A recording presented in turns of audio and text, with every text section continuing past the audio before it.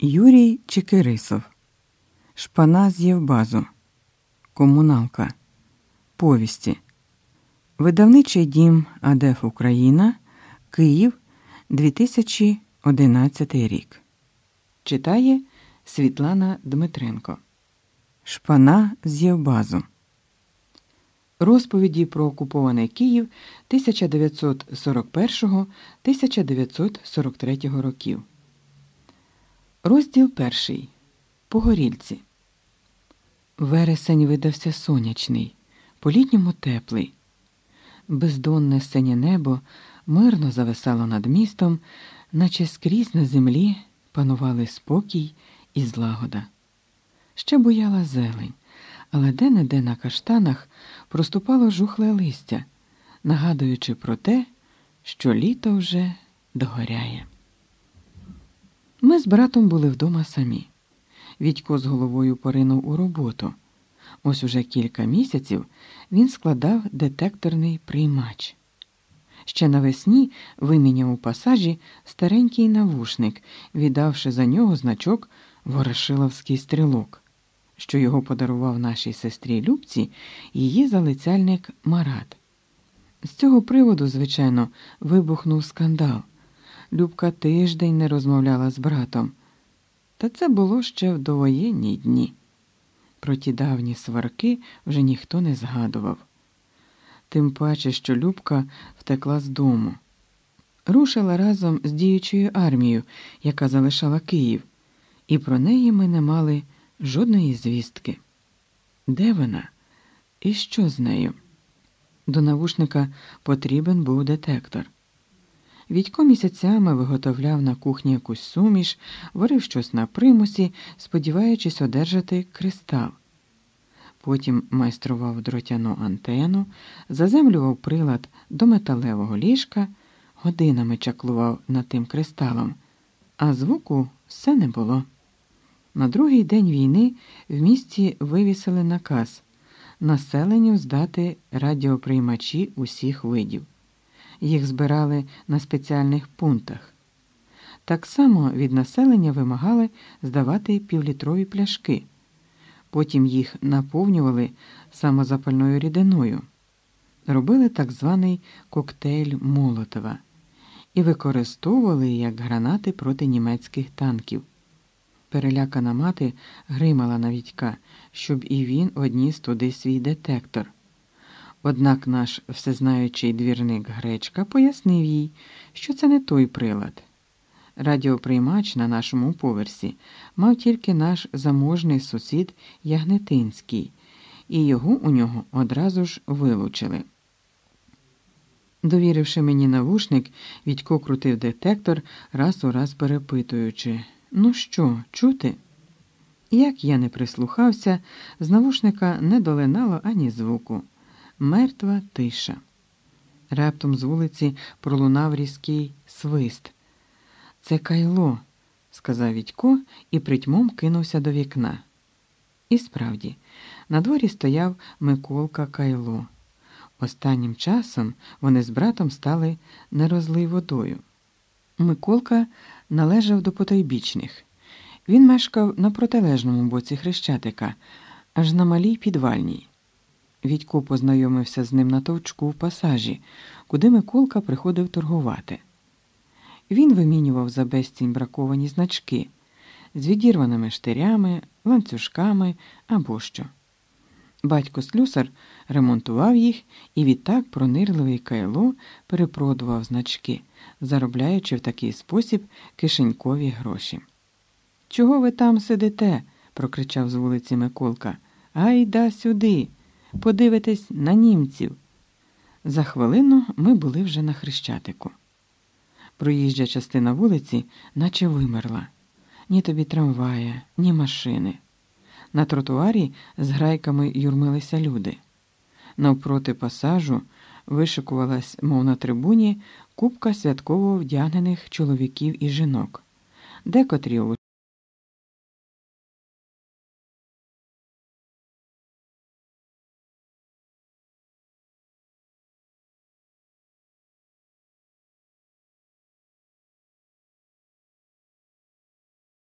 рухалась колона нових хазяїв міста.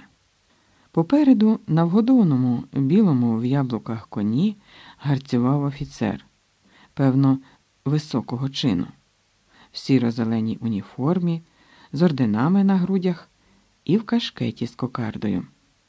Коли він порівнявся з будинком на розі прорізної, де стояла ошатно вдягнена публіка, до нього підбігла жіночка з квітами. Німець нахилився, хвацько підхопив її на руки і посадовив поперед себе на коня. За ним крокували солдати в зелених мундирах. Незвично було бачити чужих вояків з погонами на плечах і з автоматами на грудях. Наші тоді носили петлиці на комірах гімнастерок і були озброєні виключно гвинтівками. Відчувалося, що німці велика сила, подолати яку навряд чи вдасться так швидко, як сподівалися. Рідкий натовп, в якому ми стояли, зустрів окупантів мовчанням.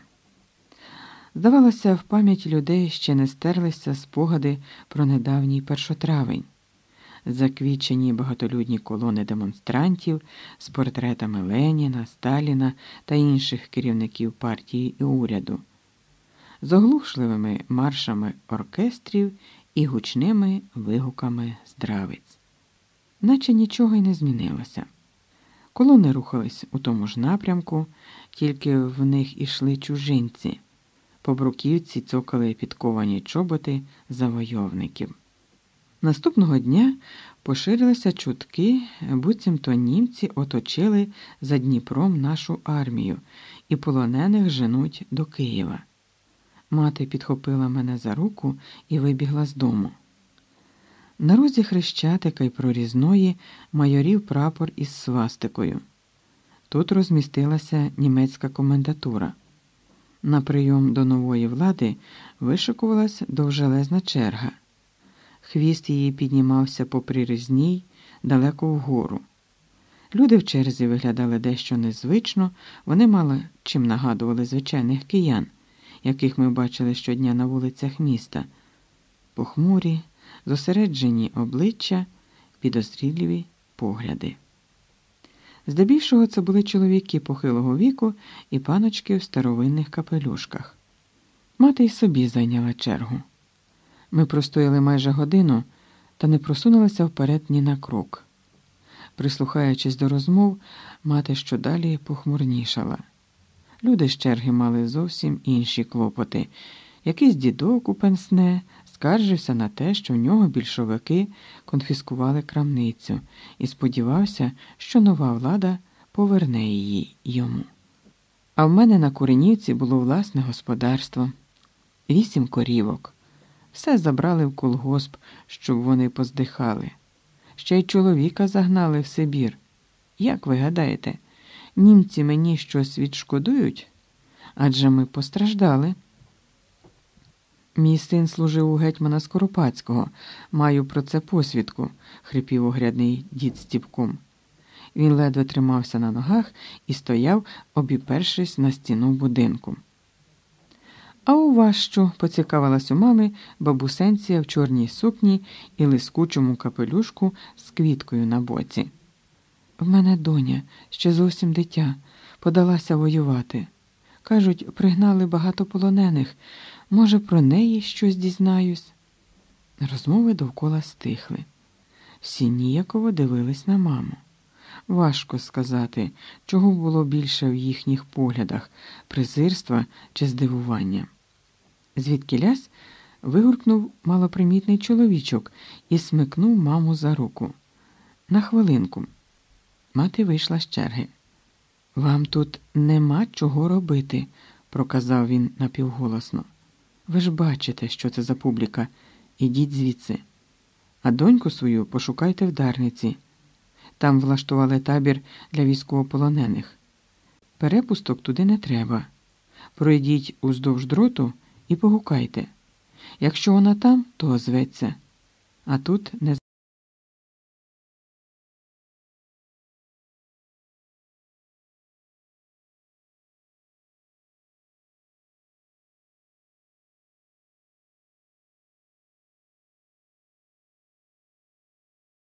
Будинок, де містилася німецька комендатура, злетів у повітря, поховавши під своїми уламками майже всю ту чергу.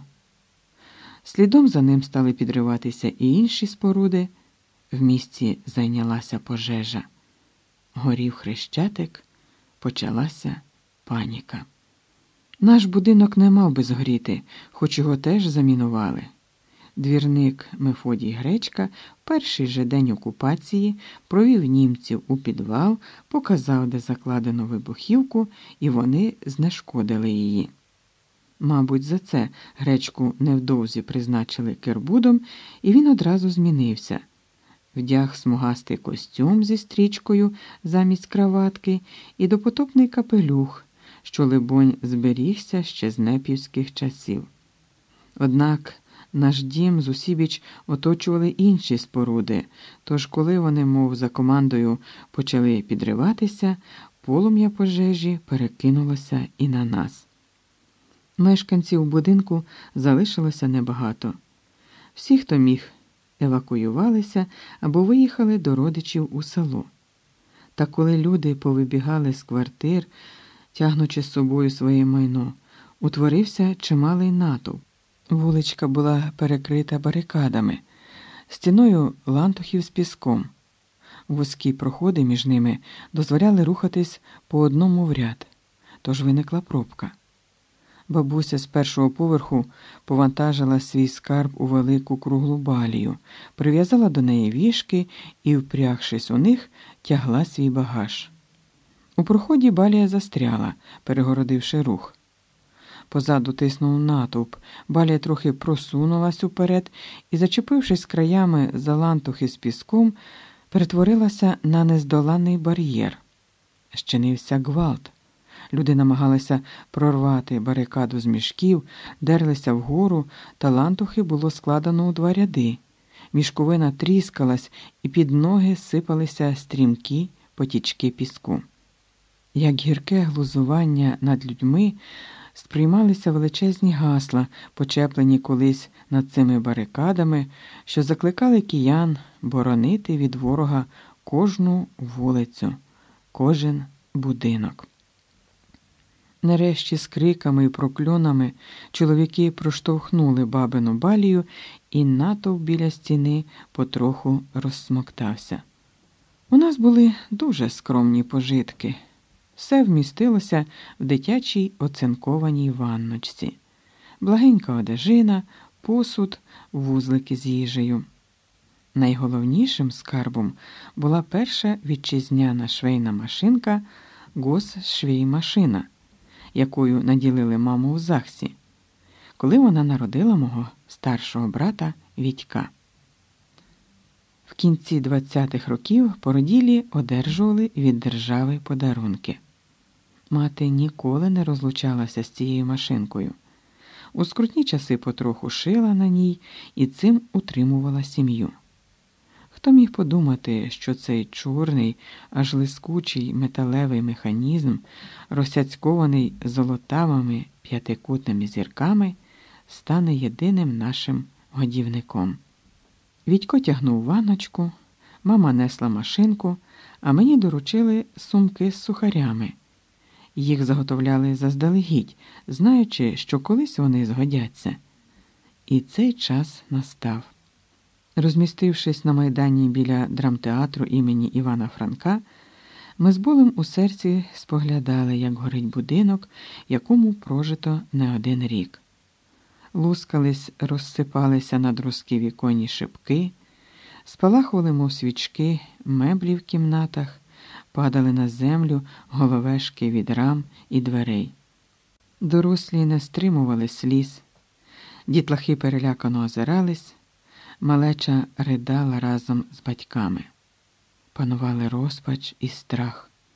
Найгірше, коли не знаєш, що на тебе чекає. Раптом з гучномовця долинув жіночий голос. Чистою українською мовою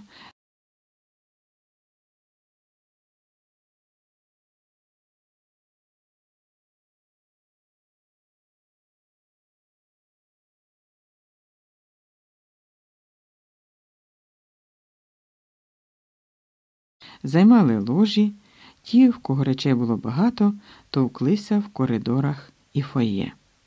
Ми залишили ваночку з пожитками у проході партеру, сілися в крісла і задрімали. Народ шушукався, висловлювались припущення про те, що буде далі. Казали, що німці виселять усіх за межі Києва. Місто горить, клубами диму вкрився хрещатик. Мовляв, де ж людям жити? Інші запевняли, ніби будинки заміновано тільки в центрі. Навіть на Печерську, в Липках пожежі немає, не кажучи вже про околиці. Розповідали про жертви від вибуху будинку німецької комендатури, про стрілянину на вулицях. Але толком ніхто нічого не знав. Пізно ввечері на сцені глядацької зали з'явилася жінка і проголосила: Увага, увага! Всім негайно залишити приміщення театру. Речей з собою не брати. В залі перебуває жидівка-диверсантка з пекельною машинкою. Щохвилини може статися вибух. Мерщіль звільніть приміщення театру. Речей не виносити, щоб не утворювати товчії. Погорільців наче вітром здуло. Люди тікали, втративши голову, збуджені обличчя, перелякані очі, рятували найцінніше власне життя і дітей. Зовні театр був оточений німецькими солдатами. Schnell, schnell, schnell. відганяли вони нас подалі від приміщення. І знову люди купкувалися навколо фонтану у скверику навпроти театру. Лави позаймали діти й старики, зойки, сльози, голосіння. На безрадних обличчях одне запитання що ж буде далі? Настала ніч. Над містом зависло багряне небо, горіли будинки, час від часу блискавками спалахували заграви, чулися вибухи, постріли. Подихи вітру доносили різкі запахи диму. Стомлені погорільці куняли, прилаштувавшись у скверику хто де зміг. Десь під ранок знайомий жіночий голос у гучномовці сповістив диверсантку з пекельною машинкою ліквідовано, можна повертатися по свої речі. Натов посунув до театру. Електрики не було. На стінах зали сліпо блимали гасниці, хтось запалив свічки. Здавалось, наче ми в церкві. Тихий гомін раптом вибухнув гучними скриками, квилінням. Виявилося, що всі речі розкидані, валізи розкриті, мішки розірвані. Невже у наших злиденних пожитках шукали ту сатанинську пекельну машинку?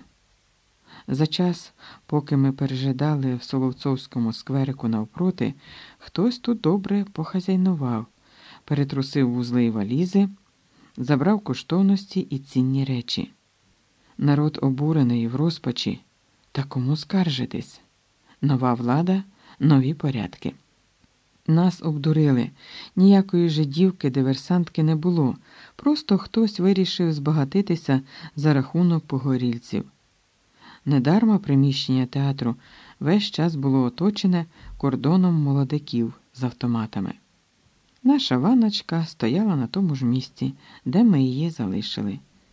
Ніхто не позаздрився на клунки з благим збіжжям, тим паче на сумку з сухарями. Головне, не забрали нашу годівницю госшвеймашину. На світанку чергове повідомлення усім покинути центр міста. Дозволено знаходитись не ближче, ніж за два кілометри від Хрещатика. Ми рушили на Печерськ і отаборилися над Дніпром у Маріїнському парку. Три дні горів Хрещатик. На четвертий день, як тільки зняли кордони, ми з Відьком прорвалися до свого будинку. Жахлива картина постала перед нами. Тут, де ще донедавна височили знайомі з дитинства.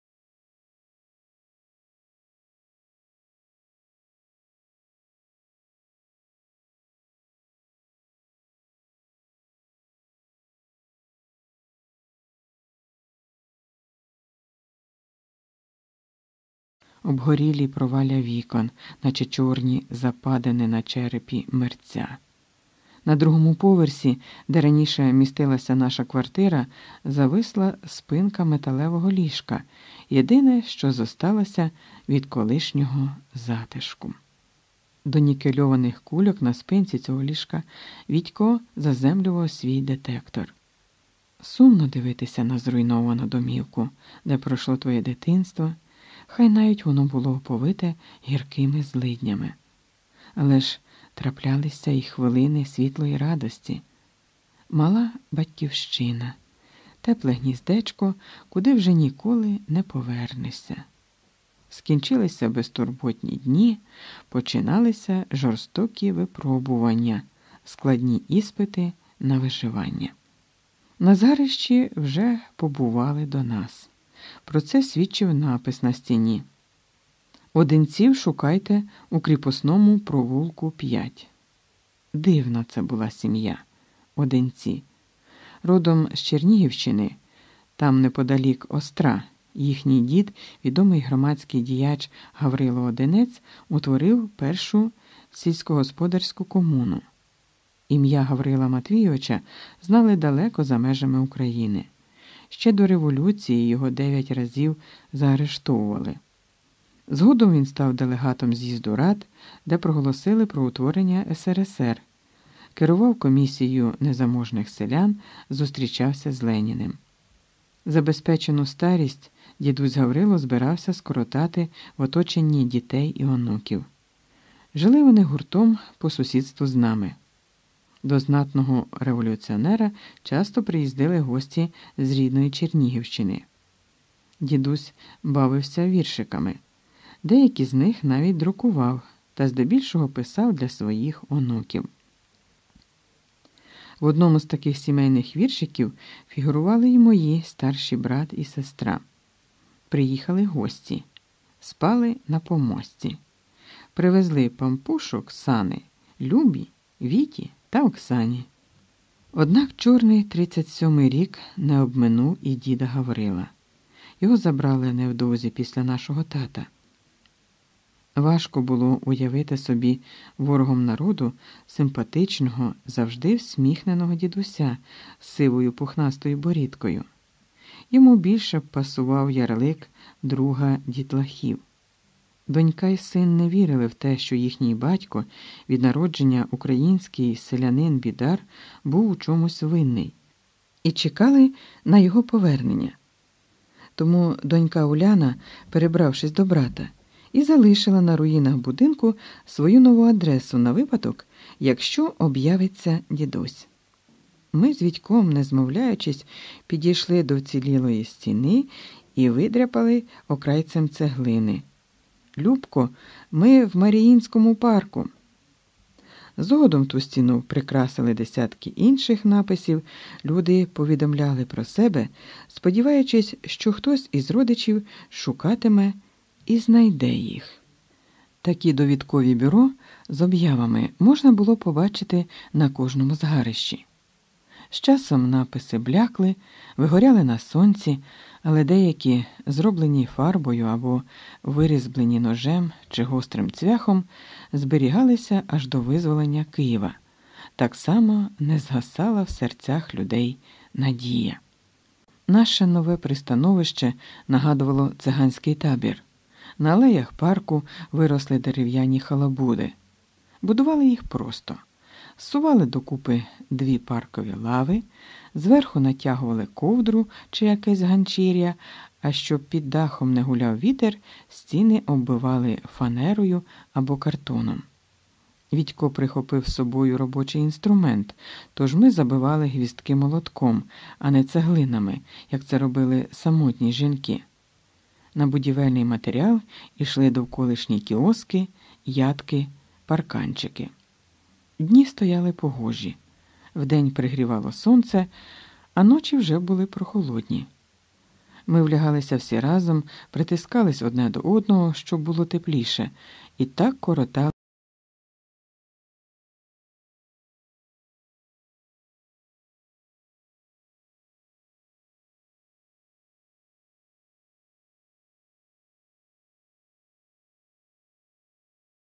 У кого був газ, ті користувалися примусами. Гірше стало, як зачастили осінні дощі. В такі ночі ми з братом відігривалися під німецькими вантажівками. Відько в школі вивчав німецьку мову і швидко встановив контакти з мадярами, які обслуговували величезні машини з зеленими будками. Що то були за автомобілі, для чого вони призначалися, ми не знали. Головне, двигуни в них працювали майже цілу ніч, і під машинами було тепло. Розділ другий. Спогад про дитинство. Дитячі літа чомусь завжди постають у пам'яті в рожевому світлі. Пам'ятаю останній передвоєнний першотравень, безмежна голубизна неба, в якій пливуть різнокольорові повітряні кульки. Все довкола сповнене радістю, на обличчях людей усмішки, гучні голоси, співи.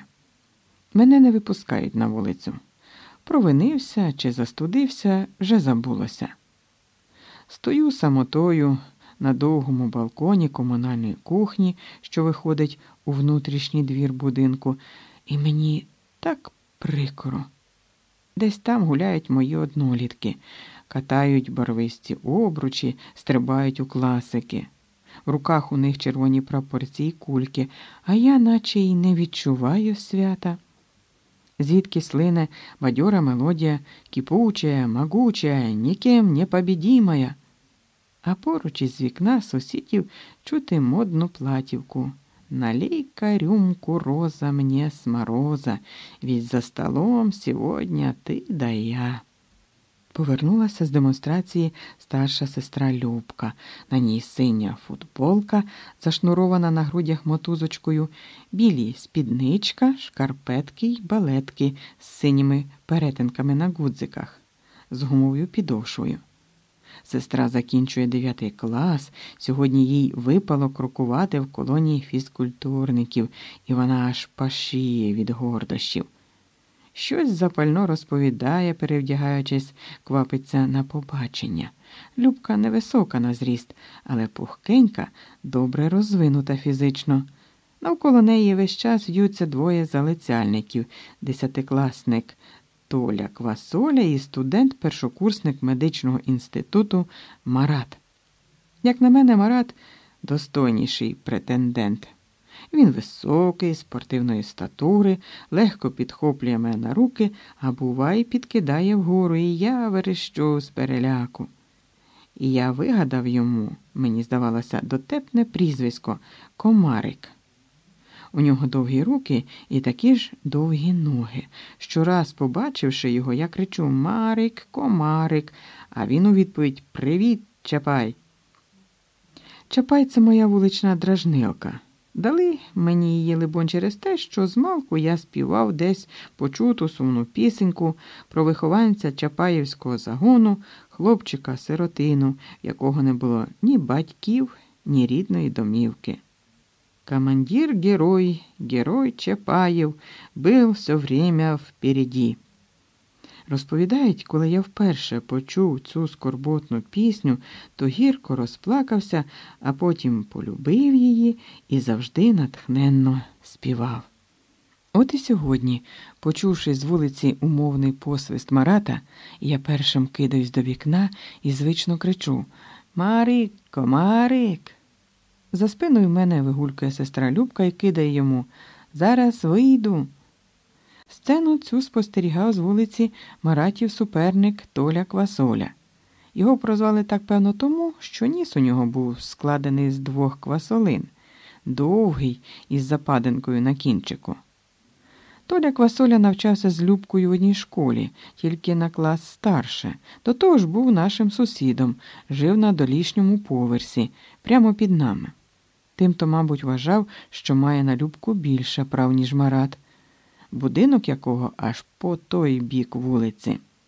Толя Квасоля стояв на ганку, що пролягав місточком до тротуару.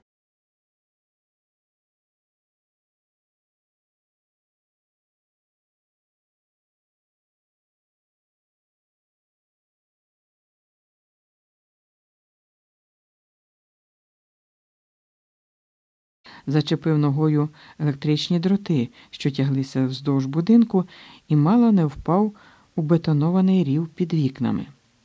Це викликало веселий регіт гурту святково вбраних людей, що стояли неподалік.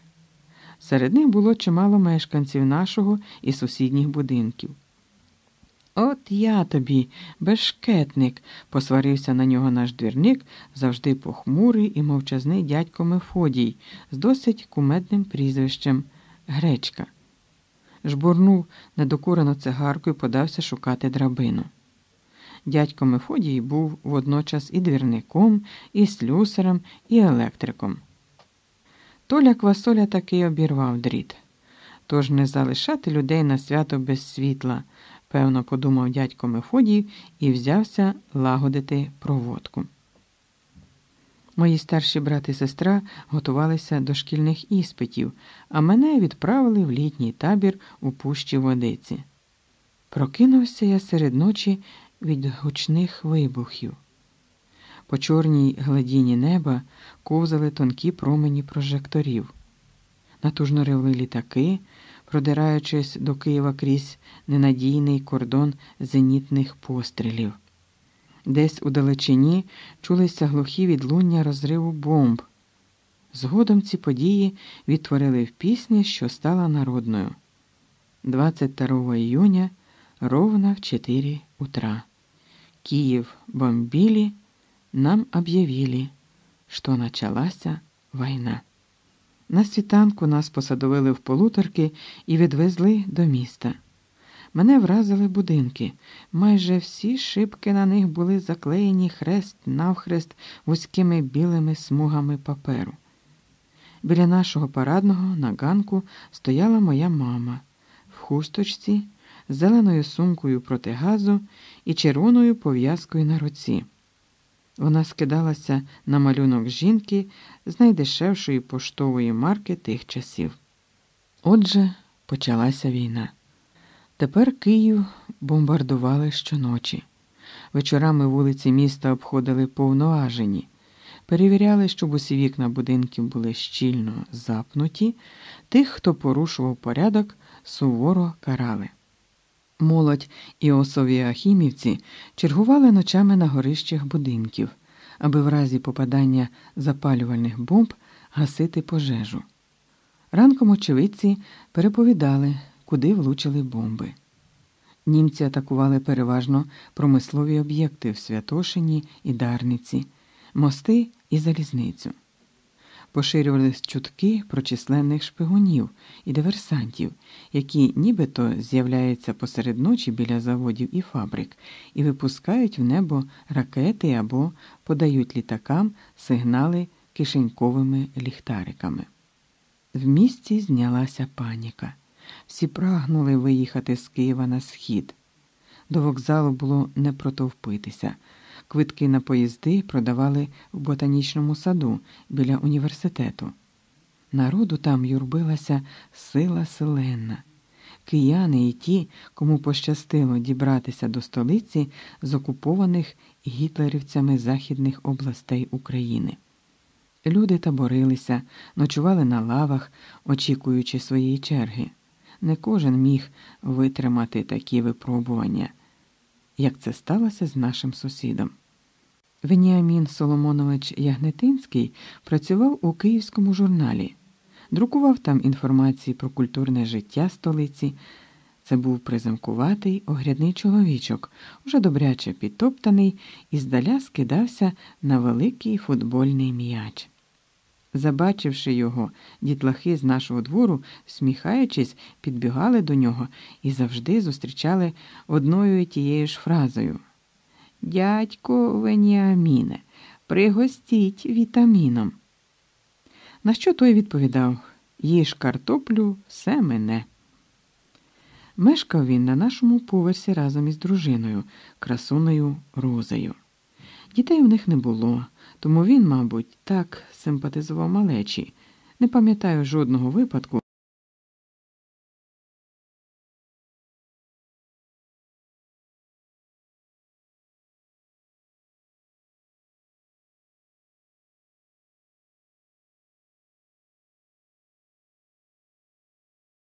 З довгими китицями.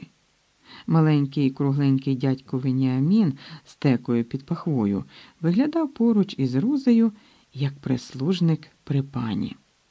Рузя була душевно хворою.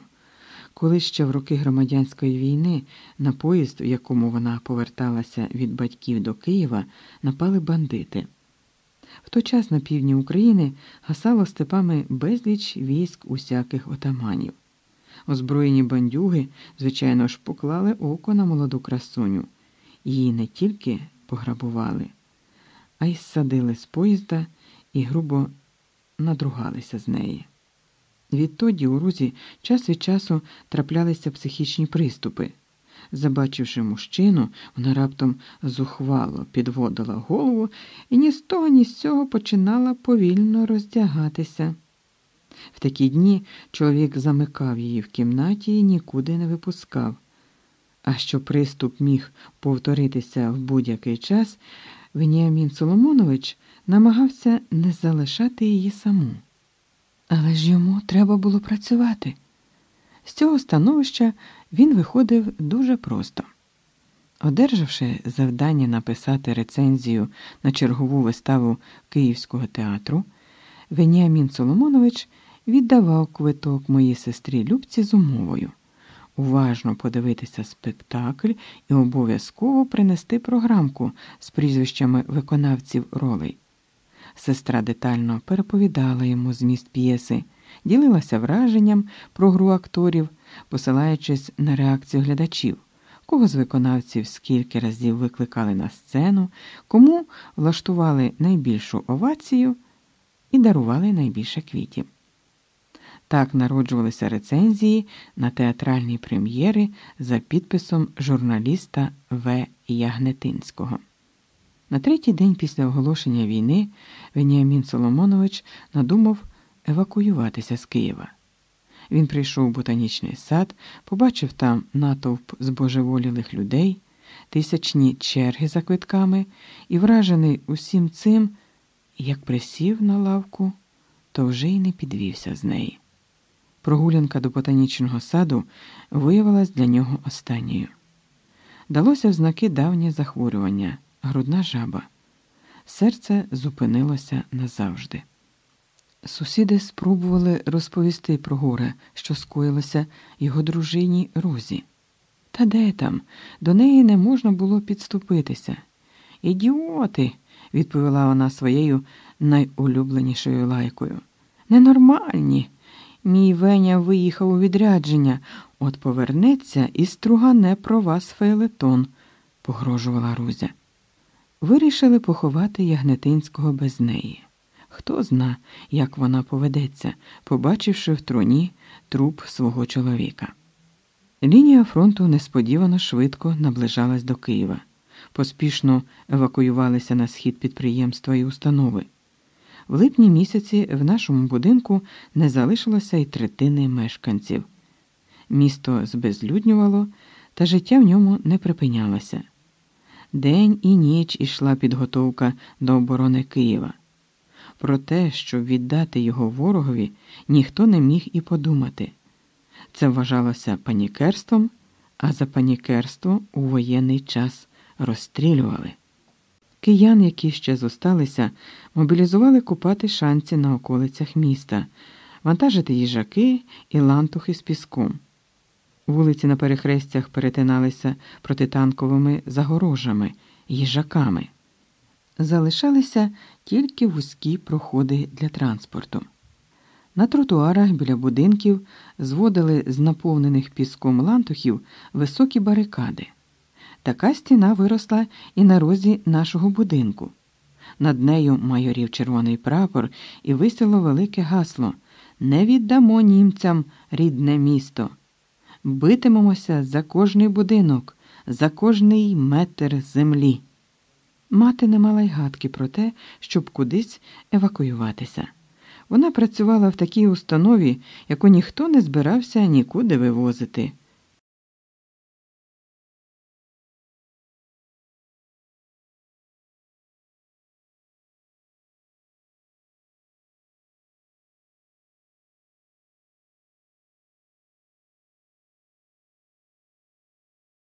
Про загибель Марика Комарика. В перший же день війни він подався у військомат і попросився добровольцем на фронт. Через кілька днів його проводжали в армію. Напередодні вони з Любкою до ночі простояли біля парадного, ніби кидали виклик полкому охоронцеві моральності Відькові, цілувалися на вулиці, не знаючи, що це їхнє останнє побачення. Похоронку одержали Маратові батьки, які мешкали навпроти, у так званому будинку лікарів, і ще не встигли виїхати в евакуацію. Через годину про це знала вже й моя сестра. З Любкою сталася істерика. Вона гасала по кімнаті, гамселила кулаками по стінах, а потім безсило звалилася на ліжко, і редма ридала аж до півночі. Марно намагалася заспокоїти її мама, казала, що війни не буває без жертв, але від цих слів Любчине голосіння ставало ще дужчим, його було чути на всю вулицю. Хто знає, що то було туга за першим коханням чи щирий жаль загубленого молодого життя. На ранок вона категорично заявила матері Я теж піду на фронт, відомщу за Марата. Мама знала, що в Любки тверда натура. Характером вона пішла в батька, недарма була його улюбленицею. Він дуже хотів мати доньку, і першою дитиною стала дівчинка. У вільні години батько грався з нею, балував її. Так з раннього дитинства вони й потоваришували. Тато пишався тим, що його доню взяли до школи з шести років. Спочатку батьки сприйняли це як жарт. Хай посидить за партою, побачить, що таке школа, а потім, як їй виповниться сім років, легше буде звикати. Однак дівчинка виявилася здібною, хоч була найменшою у класі, навчалась на відмінно, засвоювала предмети під час уроків на ходу, і повторювати матеріал удома їй було не треба. Згодом, коли батько серйозно зайнявся самоосвітою, про це писала навіть республіканська газета, робітник удосконалює знання. Вони разом вивчали німецьку мову, багато читали. Відько, на відміну від сестри, не дуже любив книжки.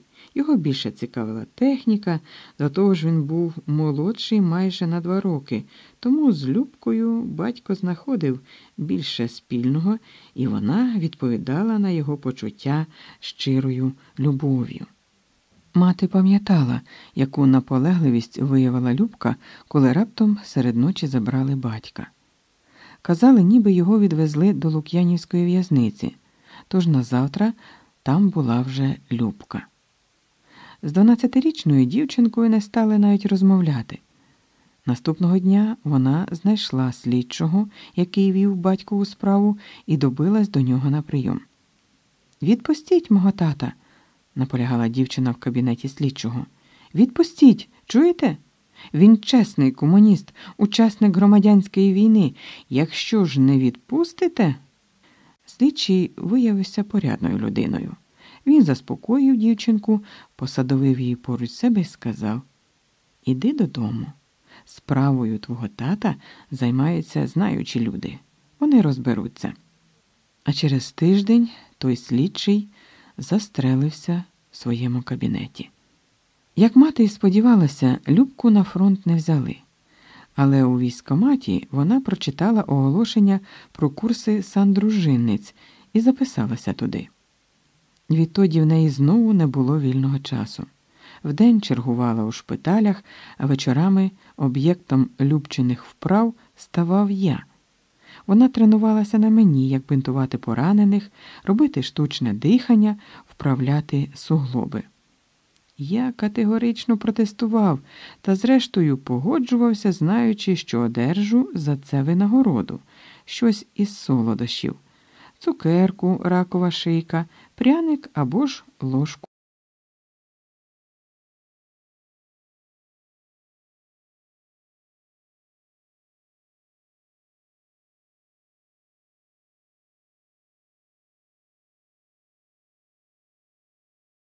Ходить на курси і гаразд, гадала мати.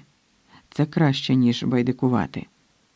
З практики в лікарні Любка принесла перші зароблені нею гроші. Мати раділа, а балачки про фронт не сприймала серйозно. І раптом одного вересневого дня сестра забігла додому попрощатися. Наші війська залишали Київ, і разом з ними вирушала Любка в складі добровільного комсомольського батальйону. Матері вдома не було. Вона подалася за місто купати картоплю на покинутих городах. Так робило багато киян, інакше чим годуватися. На Любці була військова форма, добре підігнана гімнастерка болотного кольору, синій берет і така ж спідниця. Любка поспішала. Прямо на дворі цьомкнула нас із братом у щічку, наче бігла на побачення, але потім усе ж таки піднялася в кімнату і написала мамі записку Мамуню, рідна, не сердися, не можу сидіти вдома у такий важкий для батьківщини час. Відбуваю на фронт. Цілую, твоя доня комсомолка, 18 вересня 1941 року. Вийшла з дому, подивилась на сірий будинок навпроти, де жив Марат. Немає вже ні Марата, ні його батьків. Не стало і інших любчених залицяльників. Толика квасолю вбило в неї на очах. Стояли разом на сусідній вулиці, якраз на перехресті, спостерігали повітряний бій у київському небі, німецький літак з чорними хрестами і наш винищувач з червоними зірками. Раптом вибухнув снаряд, і осколок влучив Толикові в потилицю. Поруч були і інші люди, однак більше ніхто не постраждав. Толя Квасоля впав мертвим. Раптова смерть. Мабуть, так йому судилося. Дивилася на будинок лікарів і згадувала. Любка пам'ятала, коли на цьому місці ще височила гора, помережена норами печерами, в яких селилися вуркагани. То були страшні часи, початок 30-х років. На селі провадилась поголівна колективізація, за нею наступав голодомор. Ночами на горі палали вогнища, було чути голоси, співи, блатні пісні. Безпритульні раз по раз влаштовували побоїща. Проти них була безсила навіть міліція. Дуже вже багато розвелося вуркаганів. Батьки переїхали в цей район у 1931 році. Якось узимку Любка вийшла погуляти. Каталася з гірки на санчатах, аж тут обступили її вуркагани, зняли з неї хутровий кожушок та ще й відлупцювали. Потім цю гору почали забудовувати. Спочатку вирішили спорудити цегельний завод, звели дві величезні труби, димарі, викопали глибокі траншеї та несподівано припинили будівництво. Подейкували, ніби головний інженер будівництва виявився ворогом народу, був членом промпартії і збирався підірвати економіку країни.